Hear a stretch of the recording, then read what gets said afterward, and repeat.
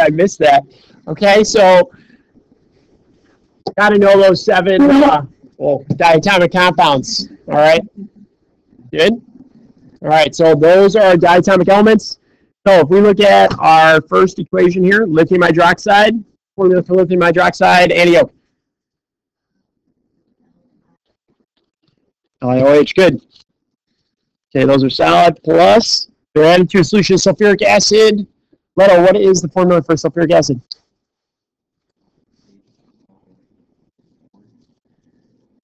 Almost H2SO4. There we go. Lithium sulfate. Suzanne?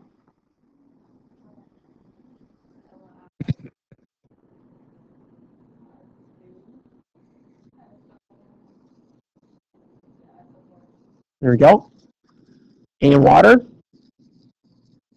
Okay, there we go. All right, so if you don't have your periodic tables out yet, you should get your periodic tables out. They'll help you, right?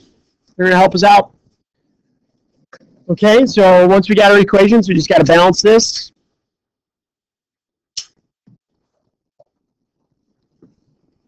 And Brady, how should I balance this equation?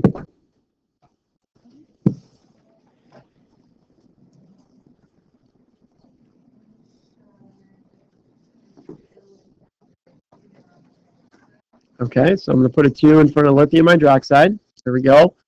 Uh, so we've got two lithiums on each side now. We've got one sulfate on each side. Uh, let's see about hydrogens. We got four on the reactant side, and we only have uh, two on the product side. So that's a problem. So what else should we do?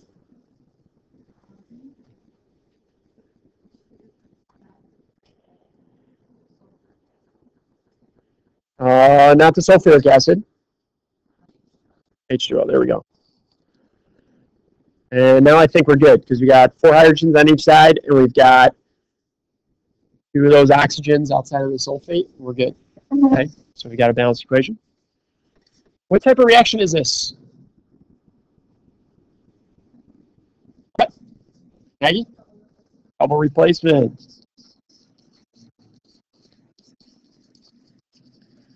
Double replacement. Uh, it's a special type of double replacement, though.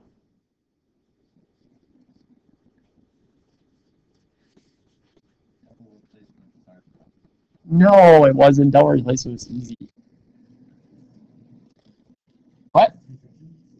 Well, not necessarily titration, but acid base or neutralization. That's what I'm looking for. Yeah, neutralization reaction. Right, we got our hydroxide, which is our base, reacting with sulfuric acid, which is our acid, and it produces water and a salt. Okay, so we got neutralization there. All right, let's go to the next uh, next one here. Copper metal. So Cu solid. Let's place in a solution of uh, silver nitrate. What is the formula, Robert Falconer, of silver nitrate? AgNO3.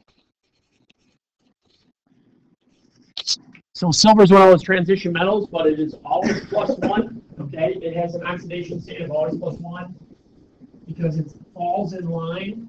So if you look at aluminum, it's got plus three. Zinc is plus two. Silver is always plus one. So silver is one of those transition metals that oftentimes you don't need to have the Roman numeral. Okay. So same thing with zinc. Zinc is always plus two. A lot of times they don't put the Roman numeral because they do not have multiple oxidation states. Right. Unlike like vanadium or something like that that has plus three, plus five, plus seven. Okay, and you got to denote with the so here with the name we just have silver nitrate. Okay, no Roman numeral, even though it is a transition metal. If you put it in there, it doesn't matter. It's not wrong either. Okay, so we form silver crystals, Ag, and copper one nitrate. Right, so CuNO3.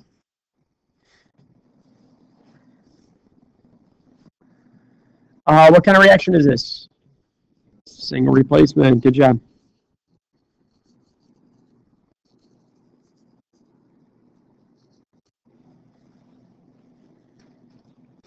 Okay, single replacement. Uh, is it balanced? Yes, we're good. Okay, last one here. aluminum, and hydrochloric acid. React to form aluminum chloride. What's the formula for aluminum chloride? AlCl3. Good job, Michael. And hydrogen gas, so H2. We got to balance. What are we going to do to balance this one?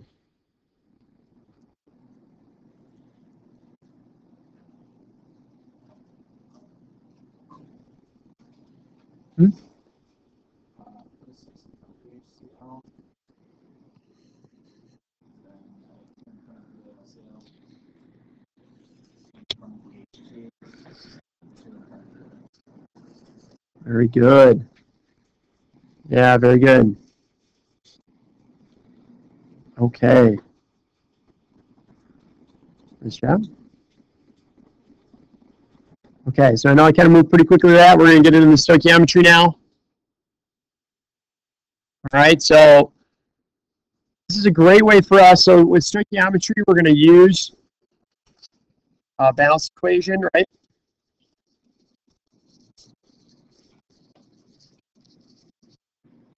Okay, and we can relate anything in that balance equation to each other here between the mole ratio. All right, the mole ratio in the balance equation is going to help. If we know anything about any of the substances in a balance equation, it could be grams, could be know how many atoms we have or whatever. Okay, as long as we have the information about that particular substance, all right, we can convert it into moles, we can relate it to anything else in the balance equation. All right, that's how we can bridge the, bridge the gap there between anything in the balance equation. So if you look at that kind of diagram, the one that we're always like the most common pathway, right, is this one right here, going from grams to moles to grams again. So kind of going back and forth between those things, right? Because we're always, no matter what, stoichiometry involves the mantra of get into moles, mole ratio, get out of moles. Okay, it doesn't matter what you have, you got to get into moles, use the mole ratio to get into something else, and then get out of moles. Right? That's all it boils down to. Get into moles, mole ratio, get out of moles. Get into moles, mole ratio, get out of moles. Those three things.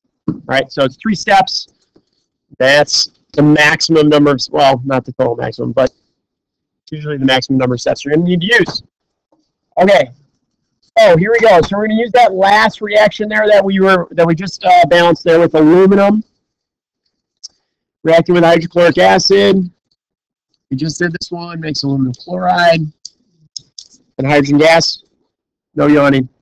Two, six, uh, what is that? Two, three. Okay. So that's our reaction that we had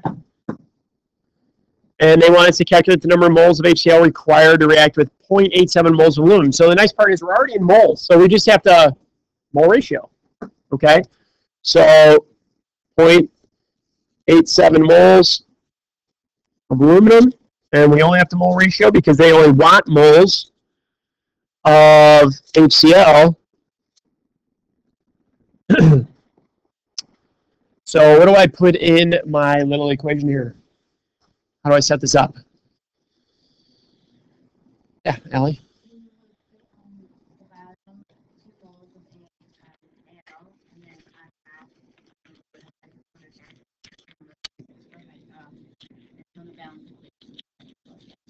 Okay, so number moles equation there is six. Does everybody see where those are coming from? Right, we've got two moles of aluminum, and we've got six moles of HCl. There we go. and then we just take it down here, 0.87 times times 6 divided by 2. All right, so 2.61.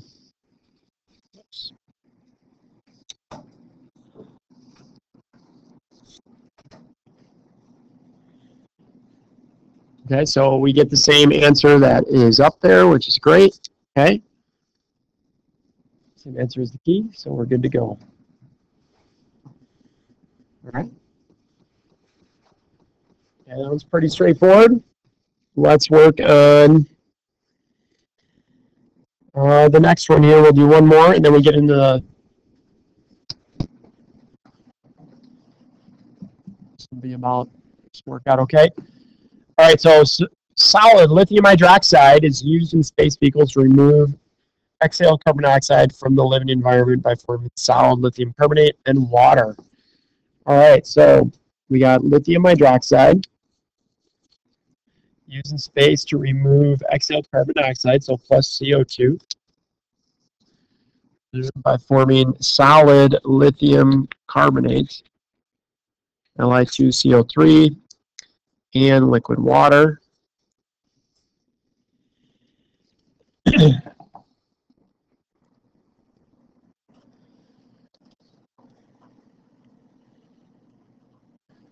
Rose, what do I got to do to uh, balance this?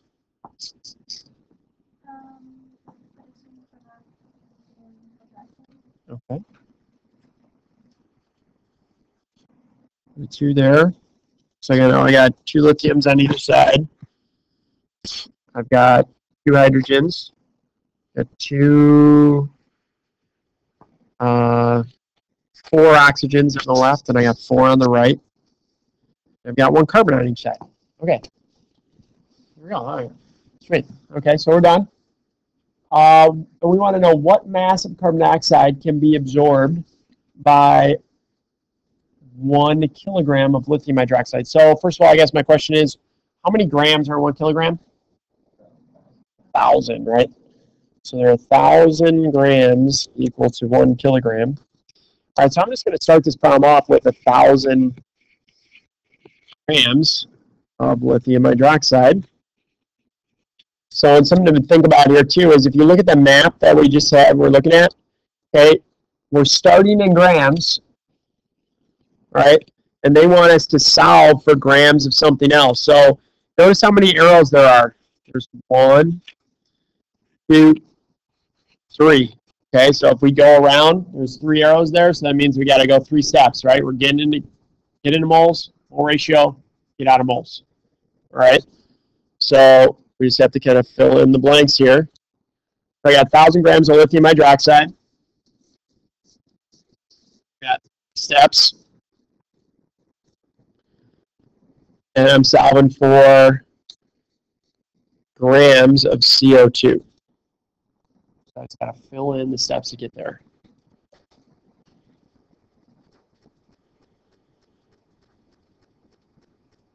I'll give you guys a second to try to do that.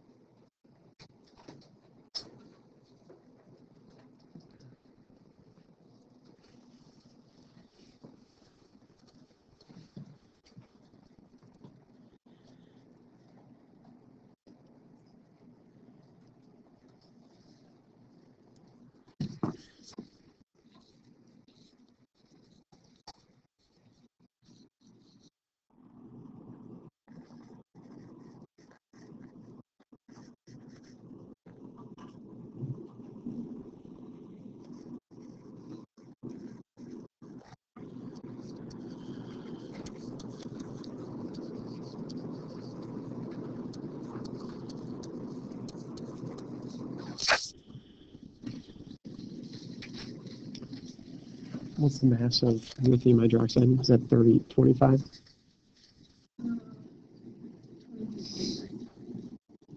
Twenty-three point.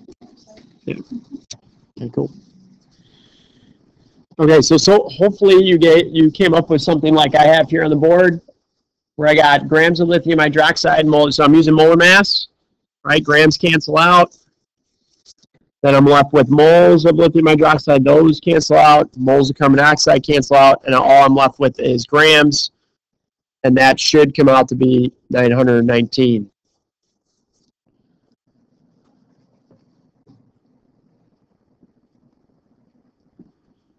Okay. And I only got 10 minutes left, so I just want to make sure that we get after the last problem here, some of these limiting reactant problems. Okay, so how would you describe these guys? Limiting reactant, excess reactants. What is a limiting reactant? Yep. Okay. That first. So it's all used up. Right? limiting reactant gets all used up by the reaction. So the excess reactant is what's left over, right?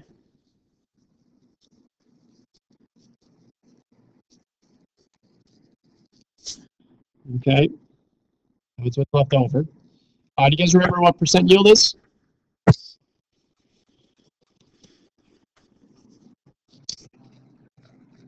Mm, that's like percent composition, what you're talking about there, I think. Daniel? Oliver?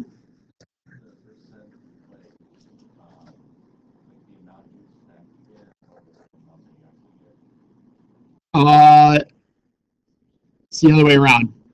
So it's the, so we call that the, what you expect to get the theoretical. Yeah, so this could be called the actual or the uh, experimental right? So it's it's what you actually get in lab, lab data, right? At the bottom here, the theoretical numbers coming from the, the stoichiometry, the math. Okay. Well, if everything goes to plan and everything goes great, hey, you get this much amount out. Okay. And you know, percent yield doesn't really 100% doesn't mean like, oh, that was like that's a great yield or something. But a lot of reactions don't necessarily do that because it just doesn't work out that same way because of the technique and etc. So like when I was doing undergraduate research uh, to get into this organic chemistry lab, uh, you had to do a particular set of reactions and your product at the end had to be greater than like 30% yield. You and you would get like two shots at it, and if you couldn't get that, you couldn't be in the group. Okay, so because you had poor lab technique and it just wasn't going to work out for you. It's kind of like how the professor used this stuff because it's something that it was a very common uh, procedure that we had to do and stuff. So I made it into the group, right? You got like percent yield, you're killing it, right? Right. So I think I got like 42 or something like that the first time I did it. That was the first time I did it, so I was in right. I was in like Flint after the first time, so I was done. Then I could actually move on to other stuff. But yeah, so there you go. Oh, that was actually as an undergrad. So, yeah, that was a while ago, a long time ago. And I need to move this page down, grab a hold of it. I'm not sure I will be able to.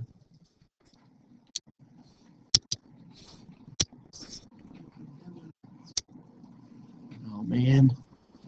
I don't have time for this.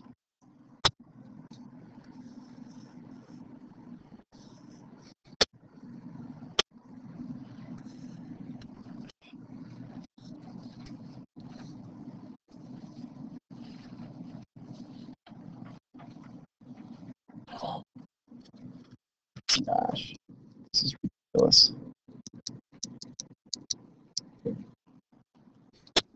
All being recorded. Your viewing pleasure later. Okay, here we go.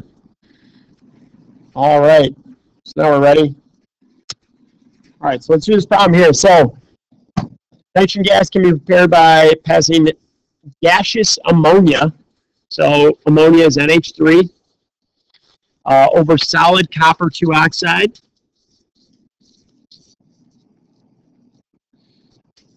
at high temperature. So we're going to make nitrogen gas. Uh, other products of the reactions are solid copper and water vapor. So I'm just going to get rolling on this right away. uh, to make this happen very quickly. So that's two, three, six, so put a three, three, um, three. I think that's balanced. Yeah, okay. So the way to do limiting reactant problems, there are a number of different ways to do this, right? But the way I found there's a couple, well, the one that seems to work most for students is taking both reactants, okay? That's how you know it's a limiting reactant problem is when they give you, in this case, we got 18.1 grams of uh, ammonia and we got 90.4 grams of uh, copper oxide. So when they give you both reactants, that's telling you right there this is a limiting reactant problem. Okay, you're going to need to work at minimum two stoich problems or stoich sets here. All right.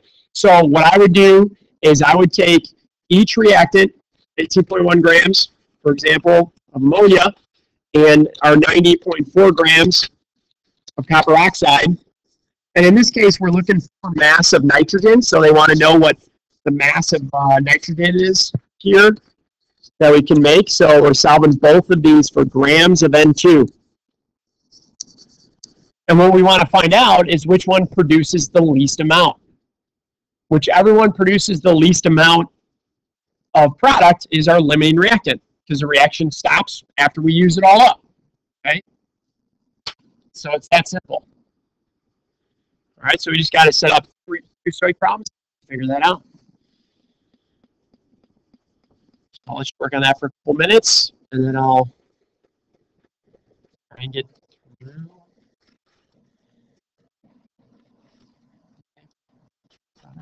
Let you set that up a little bit.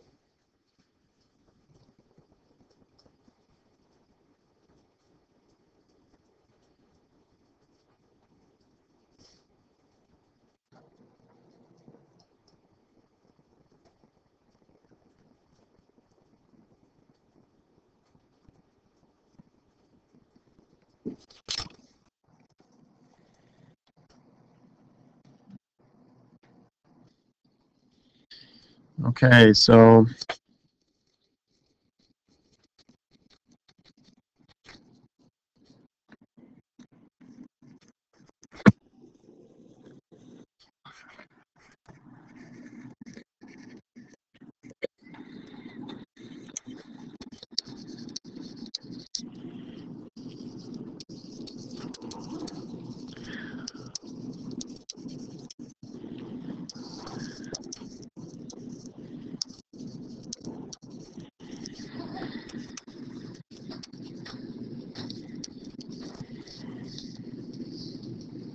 Oh, whoops.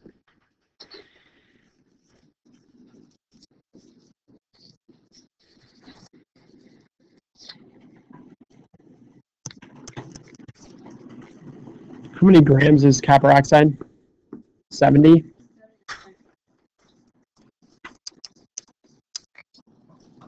So this one has got to be the 10.6 grams.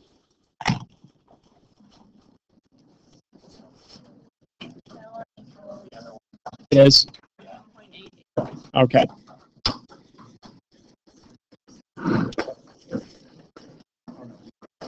Okay, so here in this case, copper oxide is the limiting reactant, right? It produces the least amount of products.